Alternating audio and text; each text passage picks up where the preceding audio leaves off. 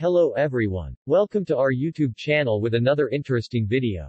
If you find this video important to you please like, share and subscribe our channel for more videos like this.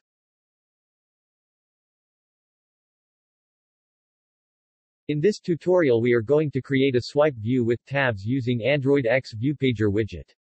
Swipe view allows you to navigate between two or more screens with a horizontal swipe. For this project we will be using tabs in order to show you one use of the swiper view in a clear and easy manner. First of all we need to add required dependencies for Android X ViewPager 2. For that you need to add the following dependencies to the Gradle app.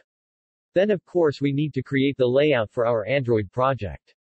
For this we will be using Android X ViewPager 2 widget first and then we will be adding a tab layout on top of the ViewPager in order to make sure that our ViewPager is always behind the tab layout.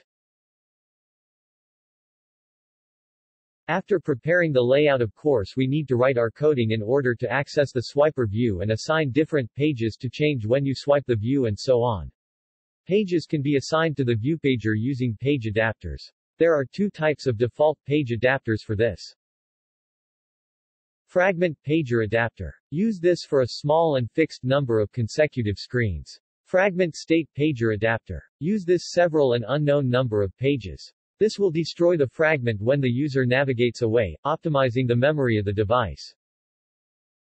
For this example we'll be using Fragment State Pager Adapter to load three fragments into our swipe view. By setting this adapter binding the child fragments you should be able to load fragment views and swipe through each fragment one by one. But since we have already added a tab layout to our example we'll be using a tab layout mediator to set up a tab indication and navigate the page according to tab selection. Now you can use the following code in your main activity to set up both View Pager 2 and tab layouts. Now it's time to create three child fragments to load into the view pager. You can do this by simply creating any three fragments and load them inside the fragment state adapter in your main activity. For this example we have created three simple fragments just by changing the background color and adding a text view to indicate the tab name. You can find all the required coding for this example in the description below. After finishing everything you can run the code to compile it and execute it in an emulator or a physical Android device.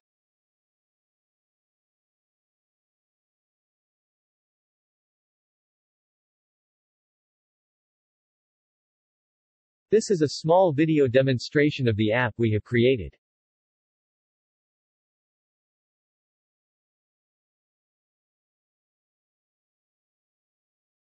Hope you enjoyed the video. Let's see you in another video like this. Thanks.